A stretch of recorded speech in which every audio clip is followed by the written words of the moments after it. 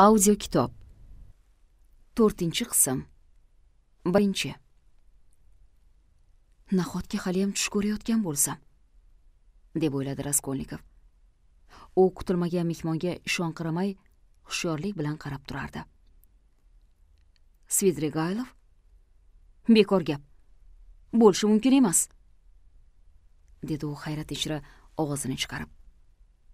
Kelgan mehmon aftidan bunga unchalik ajablanmadi. Ikki sabab bilan sizning oldingizga keldim. Birinchidan siz bilan shaxsan tanishmoqchi edim. Nega desangiz ancha bo'ldi. Siz haqingizda ko'p yaxshi gaplarni eshitganman.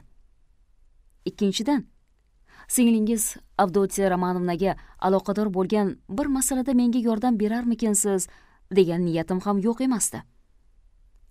Mening bir o'zimni ma'lum bir sabablarga ko'ra u kishi hatto yaqinlarga ham yo'latmasalar kerak. Agar siz o'rtaga tushadigan bo'lsangiz unda balki umid qilamanki bekor umid qilibsiz. Uning gapini bo'ldi raskolnikov. Ular bu yerga kechagina kelishdimi? Aytolmaysizmi? Raskolnikov javob bermadi. Kecha kelishgan. Bilaman. Axir men o'zim ham kelganimga uch kun bo'ldi. Bu borada sizga shuni aytib qo'ymoqchi edim rodion romanovich. Men o'zimni oqlab o'tirishni ortiqcha deb bilaman. Lekin ijozat bering aytay. Axir rostdan ham bunday qaraganda to'g'ri ko'z bilan yondashilsa sog'lom aql bilan fikr yuritilsa men tomonimdan nima yomonlik o'tgan ekan o'zi? Raskolnikov indamay uni ko'zdan kechirib turardi. Himoyasiz bir qizni o'z uyida ta'qib qildi deyishadi. Yaramas takliflar bilan uni haqorat qilgan emishman. Shundaymi? Hovliqib oldindan aytib qo'yotirman lekin o'zingiz o'ylab ko'ring. Axir men ham odamman. Va menga ham insonga xos hech narsa. Bir so'z bilan aytganda mening ham ko'zim qorayishi mumkin. Men ham sevib qolishim mumkin. Ma'lumki albatta bu bizning irodamizga bog'liq emas. Ana unda hamma narsani tabiiy sur'atda tushuntirish mumkin bo'ladi. Bunda hamma gap shundaki men zolimmanmi yoki zolimlarning qurbonimanmi? Agar qurbon bo'lsamchi axir u kishiga men bilan amerika yoki shveytsariyaga qochishni taklif qilganman. Balki bu bilan ko'nglimda juda oliyjanob niyatlarni tugib yurgandirman. Ikki odamni baxtiyor qilaman deb o'ylagandirman-ku. Aql axir hirsga xizmat qiladi. Ehtimol men bu bilan boshqani emas. O'zimni ko'proq halokatga giriftor qiladigan bo'lgandirman. E gap unda emas. G'ijinib uning gapini bo'ldi raskolnikov. Siz haqmisiz nohaqmisiz baribir. Basharangizni ko'rishga toqat yo'q. Siz bilan adibada aytishib o'tirishni istamaydilar bu yerda. O'rningizdan turib tuyog'ingizni shiqillatib qolsangiz ham mayli. Svidrigaylov birdan xaxolab kulib yubordi. Ammo o'zingiz ham deyman ammo sizni adashtirib bo'lmas ekan dedi u ochiqdan ochiq raskolnikovning basharasiga qarab kularkan. Men mug'ombirlik qilmoqchi edim. Yo'q sezib qoldingiz. Gapni naq qansharidan urdingiz? E siz mana shu daqiqada ham mug'ombirlik qilib turibsiz. Nima bo'libdi? Nima bo'libdi? dedi qayta qayta svidrigaylov xandon tashlab kularkan. Axir bu oliyjanob urush deyiladigan narsa-ku. Va buning ustiga juda beozor mug'ombirlik. Lekin baribir siz gapimni bo'lib qo'ydingiz. Shundaymi? Shunday emasmi? Yana takror aytamanki agar bog'dagi voqea ro'y bermaganda hech qanday xunuk gap so'z bo'lmas edi. Marfa petrovna eshitishimcha marfa petrovnani ham o'zingiz go'rga tiqibsiz shekilli. Qo'pollik bilan uning gapini bo'ldi raskolnikov. E siz buni ham eshitganmidingiz? Aytmoqchi el og'ziga elak tutib bo'larmidi? Siz aytgan narsaga kelsak garchi bu borada vijdonga xilof hech qanday ish qilmagan bo'lsam ham. Lekin to'g'risini aytsam sizga nima deyishimni bilmay qoldim. Yana bironta haligindaqa qing'ir ish bo'lgandir deb o'ylab yurmang. Mening sira ham qo'rqadigan joyim yo'q. Hammasi qonun qoidasini o'rniga qo'yib risolasi bilan qilindi. Tibbiyot tekshiruvi natijasida miyasiga qon quyilgan deb topildi. Bir shishacha vino ichib to'yib ovqatlangandan so'ng darhol cho'milsa shunday bo'lar ekan. Boshqa hech gap yo'q. Yo'q xayolingga nima keldi deng? Mana ayniqsa yo'lda vagonda o'tirib kelyapmanu? O'zimcha o'ylayman. Men o'zim ham shu baxtsizlikka sababchi bo'lmadimmikin? Maylida balki hadeb o'zim bilmagan holda jig'iga tegavergandirman yoki boshqa bir sabab bo'lgandir. Lekin o'ylab o'ylab yo'q bunday bo'lishi ham mumkin emas degan fikrga keldim. Raskolnikov kulib yubordi. Qattiq tashvish chekibsizda buning nimasi kulguli ekan? O'zingiz tasavvur qiling. Men bor yo'g'i ikki marta qamchi bilan urdim. Hatto izi ham qolmagan. Meni juda bezbet ekan deb o'ylamang. Yaxshi ish qilmaganligimni aniq bilaman albatta. Yaxshimas va hokazo hokazo. Lekin shuni yaxshi bilamanki marfa petrovnaning o'zi ham hatto nima desam ekan vaqti vaqti bilan shunday qilib turmasam ko'ngli o'rniga tushmasdi. Singlingiz bilan bo'lgan voqeani ku balli barayna qilib alohal bundan ham zerikdi. Shuning uchunmi o'shanda marfa petrovna uch kundan beri uydan chiqmay o'tirgandi. Shaharga boray desa doston qiladigan gap qolmagan. Anavi xatni ko'rsataverib hammaning me'dasiga tegib ketgan. Xatni qanday o'qib berganlari haqida eshitgandirsiz? Mana shunday bir paytda baxtiga osmondan tilla tushganday boshiga ikki qamchi tushib qolsa bo'ladimi? Darhol karetaga ot qo'shishni buyurgan. Bilasizmi? Xotinlar basharalardan juda darg'azab bo'lganga o'xshab ko'rinsalarda bunday paytlarda o'zlarini haqoratlangan deb his qilishni juda yoqtiradilar. Shunaqa bo'ladi o'zi. Men buni aytib o'tirmasam ham bo'ladi. Bunaqa narsalar hammada bo'lib turadi. Odam bolasi o'zini haqoratlangan deb his qilishni juda juda yaxshi ko'radi. Buni sezganmisiz hech? Lekin ayniqsa bu xotinlarda ko'proq uchraydi. Hatto ularning shundan boshqa ermaklari ham yo'q deyish mumkin. Raskolnikov oldin o'rnimdan shart turib ketsam shu bilan bu gaplarga chek qo'yiladi deb o'ylagandi.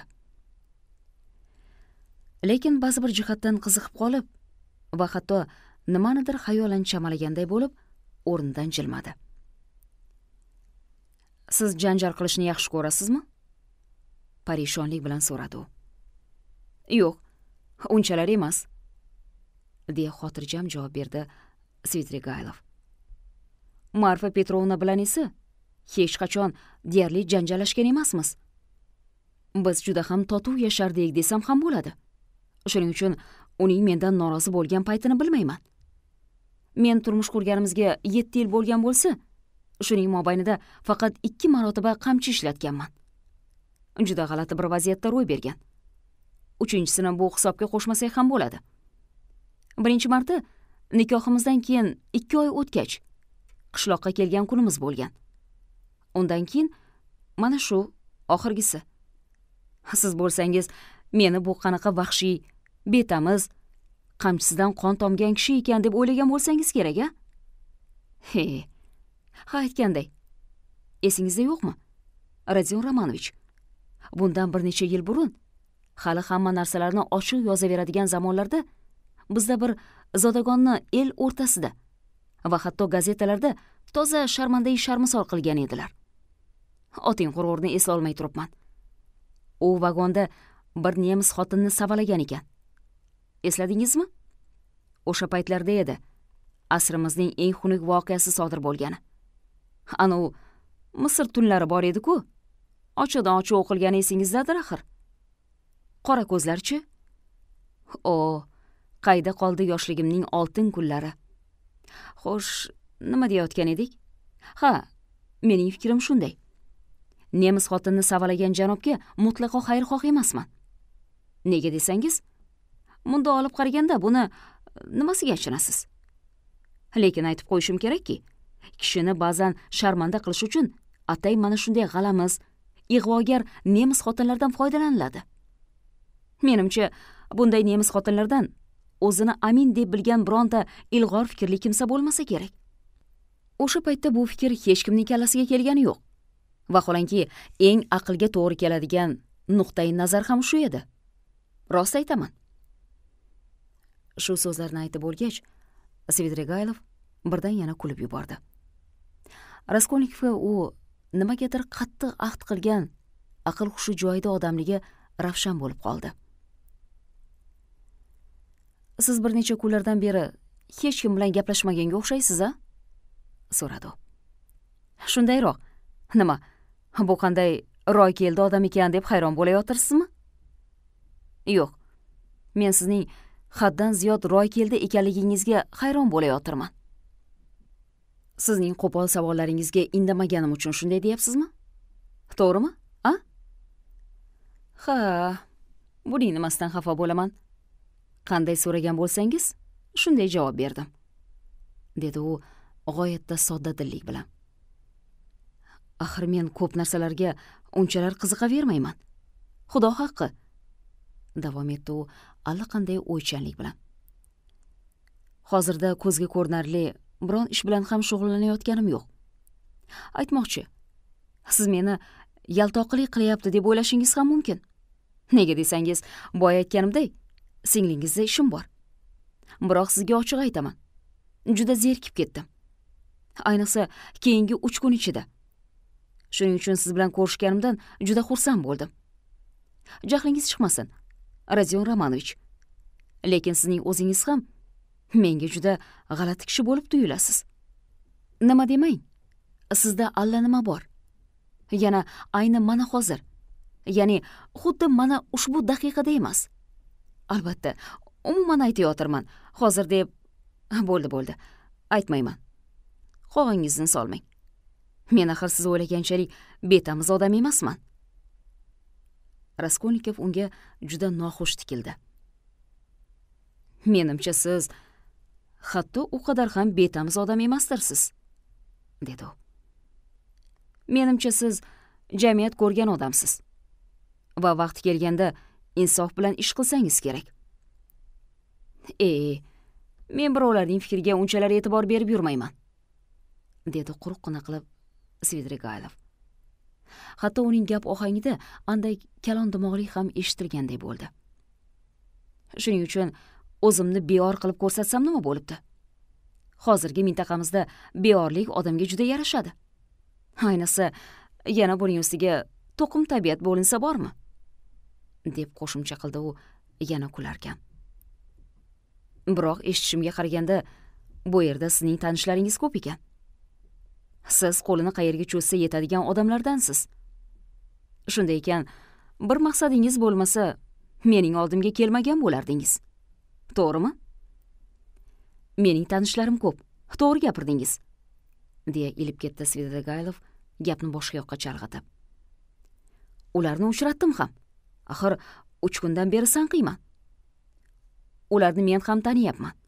Aftidan meni ham tanishmoqda. Albatta nimasini aytasiz? Usti boshim bashang. Badavlat odam deb hisoblanaman. Dehqonlar hayotidagi o'zgarishlar biz tomonlardan qiyalab o'tib ketgan. O'rmonlar sug'oriladigan yaylovlar o'tloqlar daromad oqib kelib turibdi. Lekin men u yerga qaytib bormayman. Avval ham jonimga tegib ketgandi. Ammo kelganimga uch kun bo'ldi-yu. Hali bu yerda hech kim bilan uchrashganim yo'q. Buning ustiga shahar deng. Bizda shahar haqida qanday tasavvurlar tug'ilganini aytmaysizmi? Turli tuman idora xizmatchilari va allaqanday talabalarning shahri. Ilgari sakkiz yil avval bu yerda sandraqlab yurgan kezlarimda ko'p narsalarni fahmlamas ekanman. Rosti endi faqat tashqi ko'rinishiga qarab baholayman. Shundan boshqa ishonchim qolmadi hisob. Xudo haqqi. Tashqi ko'rinishingiz nimasi? Men sizlarning anavi klublaringiz. Duysotlar puantlarni aytayotirmanda buning ustiga taraqqiyot ham bo'lsa bunisi mayli. Bizdan keyinroq bo'lsin. Davom etdi u berilgan savolni bir chekkada qoldirib ketib. G'irrom bo'lishni kim istaydi deysiz? Siz g'irromlik ham qilganmisiz? G'irromlik qilmasdan bo'larkanmi juda antiqa ulfat bo'lib olgan edik. Tuzuk odamlar bilan sakkiz yil burun. Umr guzaronlik qilardik. Hammasi ham antiqa topilmas odamlar edi. Shoirlar bor edi kapitalistlar. Umuman olganda bizning rus jamiyatimizda antiqa tabiatli odamlar bu singan ishi kasodga uchragan odamlar. Buni payqaganmisiz? Men hozir qishloqda yashab bunaqa bo'lib qolganman. Ochig'ini aytsam o'shanda men nejinlik bir grekdan qarzdor bo'lib qoldimu? Meni qamab qo'y dedilar. O'sha paytda marfa petrovnaga duch keldim. Kuyda pishta qilib yurib meni o'ttiz ming kumush tangaga sotib oldi. O'zim hammasi bo'lib yetmish ming qarz bo'lgan edim. U bilan qonuniy nikohdan o'tdik-ku o'sha zahoti u meni xazina topib olganday qishlog'iga olib ketdi. U mendan besh yosh katta edi. Meni juda yaxshi ko'rardi. Yetti yil qishloqdan chiqqanim yo'q. Yana buni ko'ringki mening hisobimdan o'ttiz ming to'laganligini tilxat qildirib qo'ygan edi. Bu hujjat bo'ynimga osilgan tosh edi. Biron narsadan norozi bo'lsam yoki qarshilik qila ko'rsam o'sha zahoti shilq etib qopqonga tushardim. Qopqonga tushirmay qo'ymasdi. Xotinlarda bunaqa ishlar hammasi aralash quralash qilinaveradi. Qo'llaridan hamma narsa keladi. Nima hujjat bo'lmaganda qochib qolarmidingiz? Sizga nima deyishimni ham bilmayman. Hujjat bilan unchalar ishim yo'q edi. Biron yerga borishni o'zim istamasdim. Mening zerikib yurganimni ko'rib marfa petrovnaning o'zi ikki marta chet elga sayohat qilib kelishni taklif qildi. Nimasini aytasiz? Chet elga o'zim ham oldinlari chiqqanman va doim u yerlardan ko'nglim ozib qaytib kelardim juda unchalar bo'lmasa ham lekin tong otayotgan chog'lar neapolitaniya ko'rfazi dengizga qarab turib diling xira tortadi. Ma'yus bo'lib qolasan. Hammadan alam qiladigan tomoni shuki kishi chindan ham bir narsani sog'ina boshlaydi. Yo'q o'z yurtingga nima yetsin?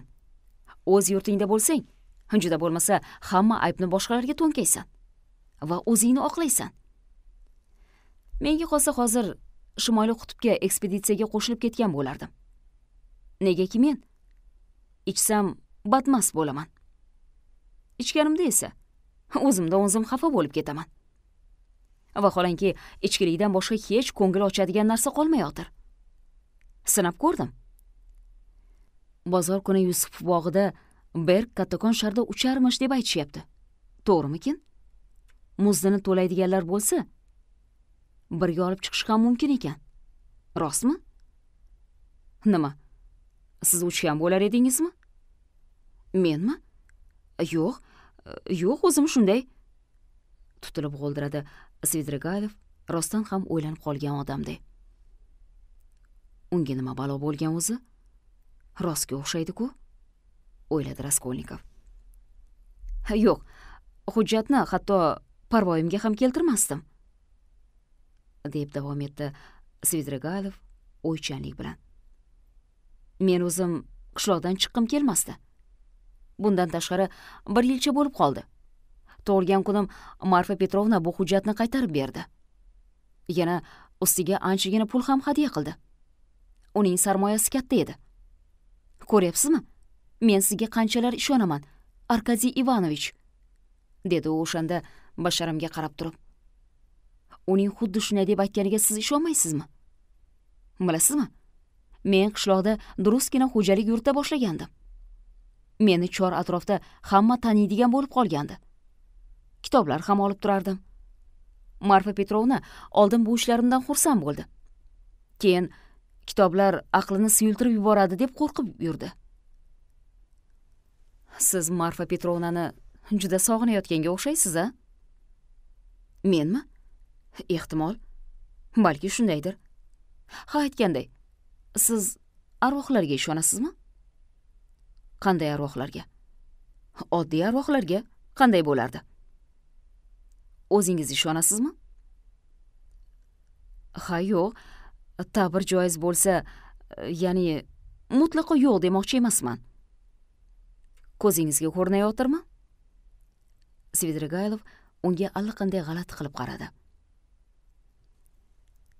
Marfa petrovnaning arvohi kelayotir dedi u lablarini qiyshaytirib g'alati iljayarkan.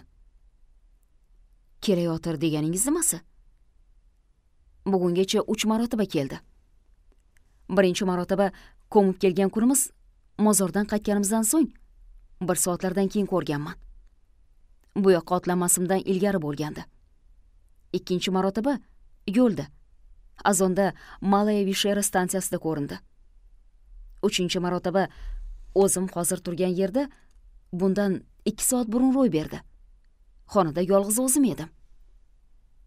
Uyg'oq edingizmi? Butunlay. Uch safar ham uyg'oq edim. Kelib bir daqiqa gaplashib turadida keyin eshikdan chiqib ketadi. Doim eshikdan ketadi. Hatto yurib ketayotgani ham qulog'imga eshitiladi.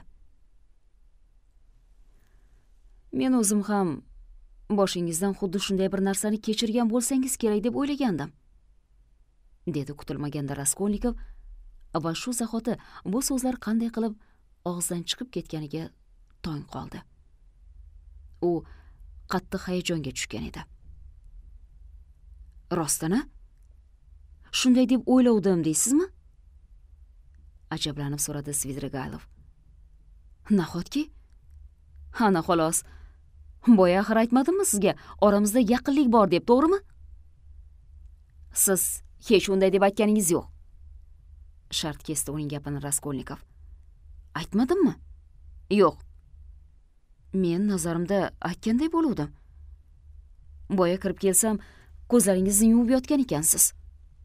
O'zingizni uxlagan kishiga solib shunda o'zimga o'zim ana sen istagan o'sha odam deb aytdim. O'sha odam deganingiz nimasi? Siz nima deyapsiz o'zi? Qichqirdi raskolnikov. Nima derdim? Nima deyayotganimni o'zim ham bilmayman dedi samimiyat bilan gapi chalkashib ketgan svidrigaylov.